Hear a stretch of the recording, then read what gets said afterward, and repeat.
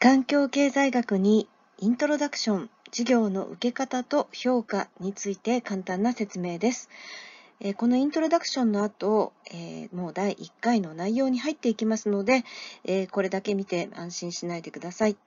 担当は和田良子です。また、次元は木曜日の予言となっています。それでは担当者は和田良子の自己紹介です。まあ、こちらの写真を、えー、持って自己紹介とさせていただきます。こちら2020年のもので、えー、もうちょっと増量していますので、えー、ね、またこれプロに撮ってもらった写真なので、え、実際はこんなあのいい感じではありませんけれども、えよろしくお願いします。環境経済学2というのは環境評価という少しちょっとマニアックに思える内容なんですけれども実際はですねこれからはどの企業も自分たちがどれぐらい例えばですねあの CO2 を排出しているかとかそういったことについてこうあの、まあ、測定しなくてはいけないなどいろんなこう環境についてのこの、えー、意識の高まりがあるんですね。でまあそんな中でちょっとですねこの環境そのものを評価するっていうようなことをこの授業では、え学んでいきます。したがってどちらかというとですねその環境を守るために、え投資をしなければならないそれのためにどれぐらいお金をかければいいのかなといったようなことを学ぶんだと思ってください。さて、えこの環境経済学にについてどうして私が教えるのかというと、もともとの専門である、え実験経済学と非常に関係が深い。ま、実際、実験経済学の手法を使って環境評価というのが行われているために、えこちらの科目を担当しております。まあ、そのですね、手法について、えー、いろいろとこう教科書を用いて勉強した後で、一緒に授業で実践をしていくという、こんな流れいいなと思っています。さて、この環境経済学2の、えー、狙いと到達目標なんですけれども、環境評価のね、目的とツールについて、こう、まずは理論的に勉強して、その後実践的に勉強します。えーと、かつてはですね、一緒にあの皆さんとあの八津干潟というですね、まあ、知ってる方は知ってるんですけれども、えー、結構近くのですね、習志野市にあるラムサール条約地というですね、えー、なんとですね、そうなんです、世界的な条約地なんですね。その八津干潟に行っ、えー、そこで実際に八津干潟を見て環境評価をするというアンケートを昔は考えていたんですけれども今なかなか一緒にねどっかに行くっていうのがこのコロナの関係で許されていません。したがってですね、まあ、バーチャルでお出かけする、あるいは、まあ、お出かけしたビデオを見ていただいて評価を考えるといったようなこと、あるいはですね、各自で行っていただいて、えー、そのね、環境評価をするアンケートを考えてもらう、まあ、いろんな方法があると思うんですけれども、まあ、何らかの形で、このね、えっ、ー、と、まあ、狙いが到達できるように、ね、していきたいなと思っています。まあ、ちょっと状況に応じてですね、まあ、このね、コロナもね、またまたね、収まっていますけれども、何が起きるか分かりませんので、状況に応じて、えー、その場、その場でですね、えー、最も適切な方法で、この狙いを到達できるようにしていきたいと思っております。ちょっと話長くなりましたけれども、環境を評価する意義、そしてその手法について、この環境評価の歴史をですね、学びながら、えー、ね、交えながら学んでいくということになります。さて、授業の進め方なんですけれども、基本は対面型になっています。しかしながら、まだ来週まではオンデマンド型というふうに決まっていますので、えー、まあ、そのですね、講義とそれに紐付けられた形式上の小テストを受けてもらうというね、この普段のなんか集中型のね、流れになっております。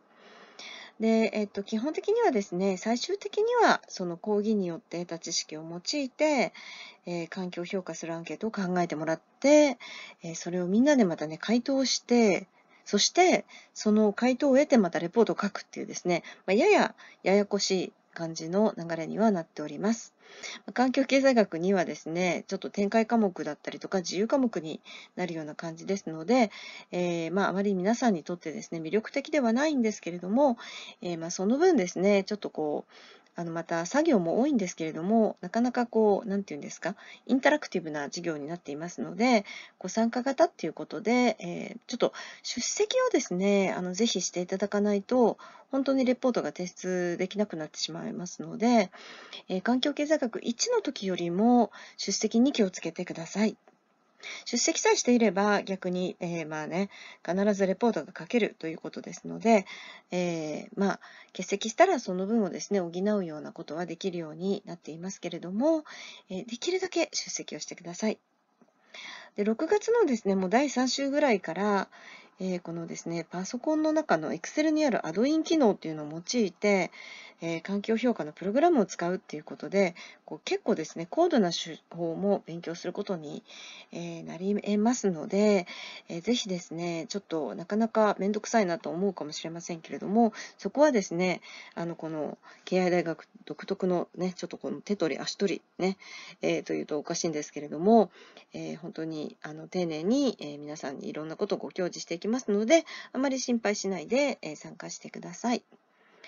で、まあ、ここで、あの、そうですね、学んだことは、マーケティングなどでも使える手法になりますし、え冒頭でちょっとね、あの、申し上げた通り、あの、まあ、これからはですね、もう本当にどの企業に入っても、環境について、こう、意識を持った経営というのが求められていますので、この環境評価やったことあるよというと、えーちょっとですね、あの、ちゃんと勉強したんだなっていうね、いいこと勉強したんだなっていうことになっていきますので、まあそういった意味でちょっとですね、めんどくさいんですけれども、頑張って勉強していきましょう。最終的に授業で作ったアンケートに基づいて、えー、全員で環境を評価していきます。で、そのレポートの質によって評価が決まります。しかし、その、あの、なんて言うんですか、難しいこと書いてくださいじゃなくて、あの、もうアンケートさえして、作ってもらって、そしてアンケートのね、あの回答を取って、その結果を分析して、その分析結果をこう端的に書くだけですので、凝った文章を書くっていう必要は全くないんですね。しかし、こうちゃんとあの授業に沿って、えー、分析をできるかどうかっていうところが、えー、この肝になりますので、えそういう感じなんだなと思ってください。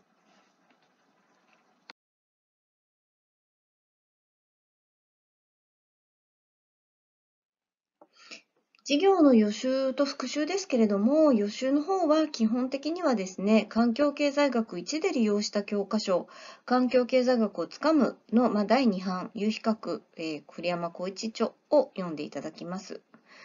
えー、こちらですね、お持ちでない方は、えー、できるだけちょっと入手していただければ嬉しいです。えー、忠屋さんが、えー、入荷していらっしゃると思いますので、えー、購入してください。でもし、えっと、忠屋さんで入荷できない、していらっしゃらない、あるいは購入できなかった場合、Amazon などでも購入することができますし、えー、場合によってはですね、野球部なんかだったら皆さんの先輩の中で持っていらっしゃる方がいると思います。スライドの最後に、えー、ま、毎回のスライドにですね、最後に読んでいただくページなどの場所が示されます。で、まあ、ちょっと次、1回目、イントロダクションですので、えー、その時は必要がありません。でまたですね、時には私自身が執筆した教科書の一部を読んでいただいたりしますし、えー、まあ、場合によってはですね、栗山先生に、えー、まあ、許諾を得てですね、栗山先生、えー、小一先生という先生の、えこの環境大学、え経済学の第一人者ですけれども、ホームページなどを紹介させていただきます。